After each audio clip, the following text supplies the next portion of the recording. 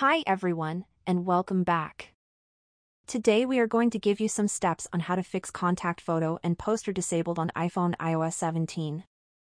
If you're seeing the message contact photo and poster disabled on your iPhone, it means that you're not able to share your contact photo and poster with others. This can be frustrating, especially if you're trying to use a new feature in iOS 17 that relies on contact posters, such as NameDrop. There are a few things you can do to fix this issue. First, check your name and photo sharing settings. Open the Contacts app and tap on your contact card at the top. Then, tap the Contact Photo and Poster option and make sure that name and photo sharing is enabled. Second that we can do is to sign out of and back into your Apple ID. This can sometimes fix minor glitches that can cause contact posters to stop working. To do this, go to Settings Your Name Sign Out. Then, sign back in with your Apple ID.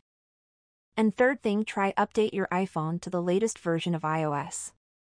Apple is constantly releasing updates to iOS that fix bugs and improve performance. Make sure that you're running the latest version of iOS to avoid any potential issues with contact posters. If you've tried all of the above steps and you're still having problems with contact posters, you may need to contact Apple support for further assistance. Additional tips.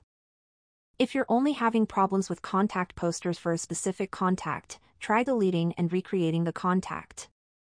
Make sure that you're connected to the internet.